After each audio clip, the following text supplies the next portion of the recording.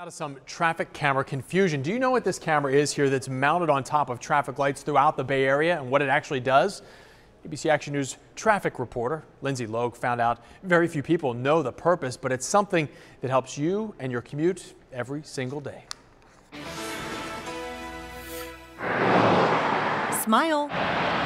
You're on camera. Do you know what they're for? I'm not sure.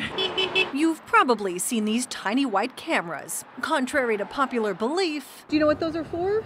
They're for uh, people who uh, blow the light. they're not red light cameras. In fact, they don't even record. They help with the flow of traffic. They also offer us a, a guidance or a bird's eye view of the intersection, what's going on. At the comm center inside the Clearwater Police Department, it's someone's job to monitor nearly 40 cameras posted at major intersections.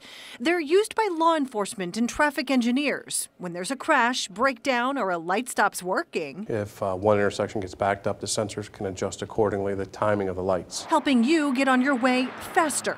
As for red light cameras, The city of Clearwater only has two red light camera intersections. This one here at Gulf to Bay in Belcher, the other one at Chestnut in Fort Harrison. Clearwater police often post videos like this one to their Facebook page of near misses, an educational reminder. It's pretty hectic. A plea to drivers to curb distracted driving. Put down the phone, bagel, lipstick, whatever is taking your eyes off the road. You know, if you drive safely and cautiously and within the confines of the law, you don't have to worry about Big Brother. In Clearwater, Lindsay Logue, ABC Action News.